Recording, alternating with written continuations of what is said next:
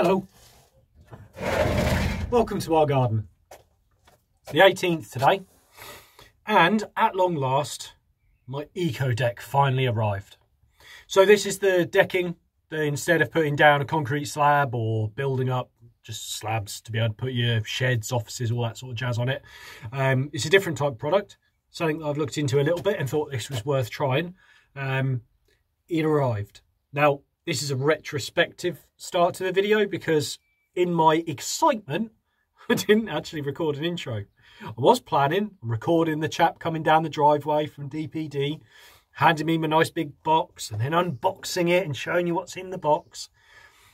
But instead, I turned into a little boy at Christmas and just had to get it. I was like, wow. So it's all installed. I do need to get some more gravel, but as a spoiler, you'll see that in a moment. But yeah, so for you, I'll see you outside in the garden.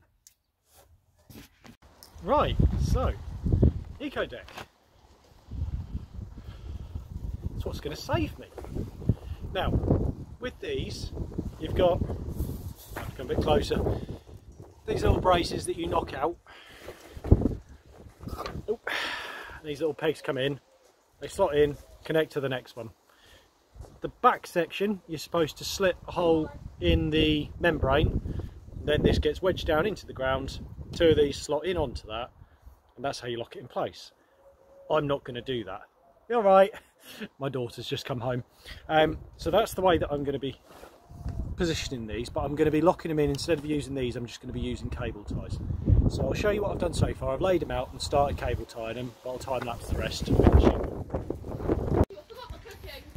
so, this is the Eco Deck laid out. You can see I've started putting some cable ties in these ones. Now, I didn't realise just how much bigger this was than the 10 feet by 6 feet. And it doesn't fit in my frame. So I've knocked that side out. And you can see that's taken back a bit further. And the way that I'm going to do this is I'm going to put I've got another three slabs, one, two, and then another one. Rather than laying them out in the correct orientation, I'm going to lay them out this way. That section's just going to get filled with gravel. The office has got bearers that go all the way across, so I don't think that's going to cause me any issues at all. It's all going to get filled level with gravel anyway, so that should be absolutely fine.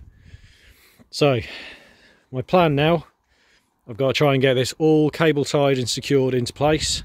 I'm going to go pick up one of my other kids from school, and then when I come back, I'll be able to fill it all with gravel, get it all nice and level, and yeah, job's a good one.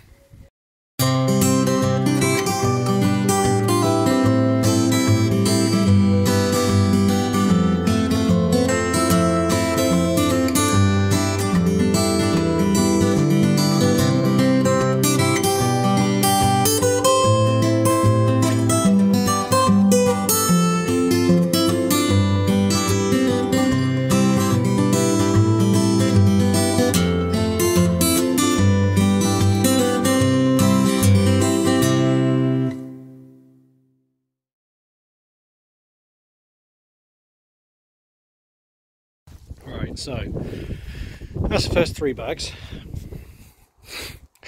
Should have enough to do the rest. That's three tiles, it's roughly one bag per tile.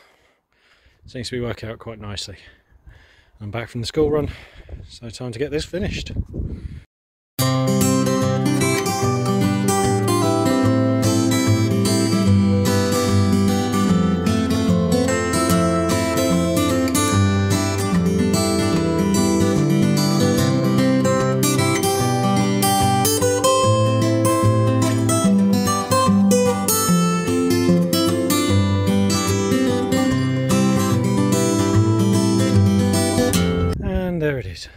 Done.